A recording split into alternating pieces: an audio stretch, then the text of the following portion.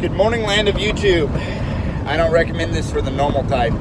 I'm uh, currently in transit to my first repair this morning. I do in-home appliance repair for a living, following the background of things anyway. And I'm here with another energy drink madness situation.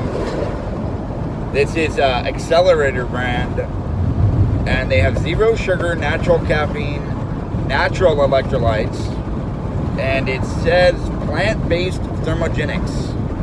So it gives you active energy and accelerates your metabolism. I think any fucking better way to help me burn off excess weight, I, I welcome. And um, yeah, it's a little revealing. I'm like, by the way, I'm driving. I'm doing 70 miles an hour on the freeway right now and making a YouTube video. But some people are more capable of things than others. And I'm not trying to set a bad example for anybody, so don't do this at home.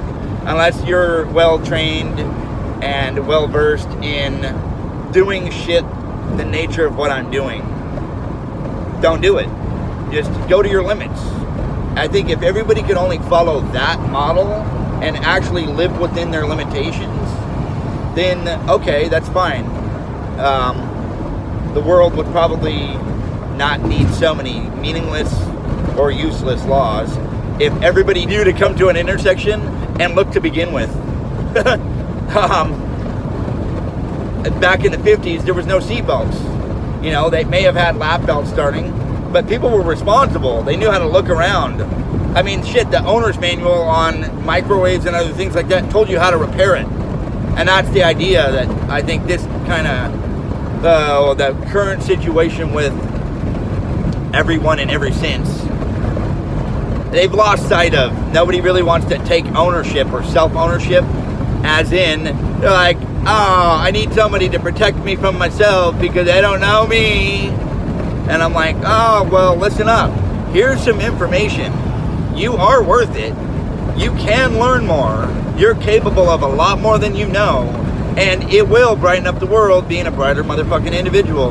So, boys and girls, if you fucking hear anything I say that's really meaningful and it hits home, like, subscribe, share, pay attention to my content, don't pay attention to my content. If it's controversial and it offends you, maybe you needed it. Also, comment and let me know how controversial it is. I'm willing and open to any kind of constructive criticism as feedback to help me grow. I'm constantly craving knowledge. I could only want the best for humanity and inspire the same kind of thing in others, which I hope everyone craves knowledge. I don't know how many do.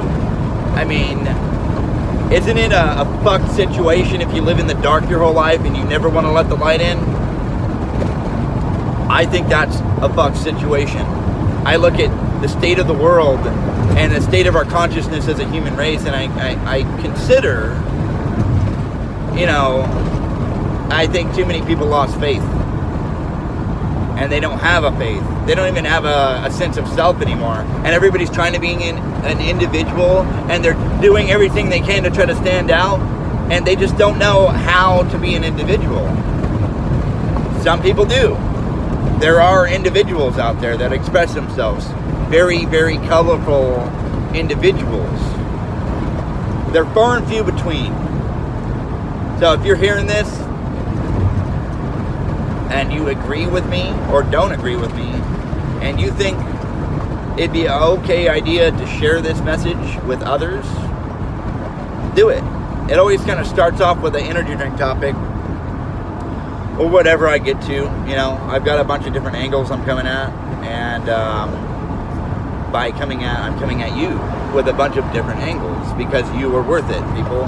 So step up to the challenge, brighten up your day, brighten up somebody else's day, love the fucking person next to you, even if you disagree with them.